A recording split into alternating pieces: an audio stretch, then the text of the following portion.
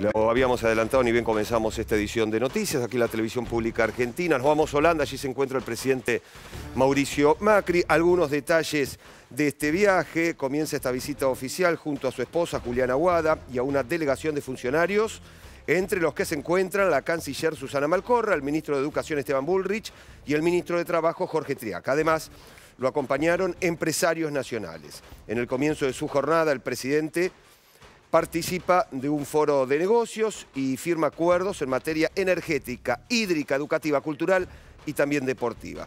También mantendrá encuentros con empresas locales interesadas en invertir en nuestro país. En las próximas, en las primeras horas de su estadía en el país fueron recibidos por los reyes Guillermo y Máxima, con los que compartieron una caminata allí en la residencia de los reyes. Parte de la actividad que desarrolló y estará desarrollando en las próximas horas el presidente argentino en Holanda.